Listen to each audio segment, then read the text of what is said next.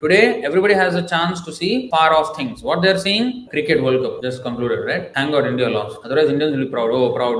I, I did not want them to be proud. Very good they lost. It's simply wasting time. What is the? How did your life change by watching cricket? What, what did change? At least the cricketers are cricketers who was playing. He's getting some salary, hefty salary. You are paying for your cable TV. You're paying with your time, watching it, gaining nothing in the process. Oh, India won, India won. Are, what did you achieve here? What did you do with the time? What did you accomplish? Okay, they won. What are, what are you doing? You lost. You lost your time. You lost your money. No, no, no. It's inspiration. You can take many lessons in life. You can turn it into life lessons. Uh, extract some nonsense from anything. Whatever you can say. You know, nowadays people are like, if you want to learn about life, read Bhagavad Gita. You will never learn about life otherwise. We'll learn like what animals do. If you want to learn like a human, then the Bhagavad Gita is the one we have to understand. That's how we understand what life is. So this power that everyone can watch live now is actually not good because it is in the hands of fools. Power is in the hands of fools now.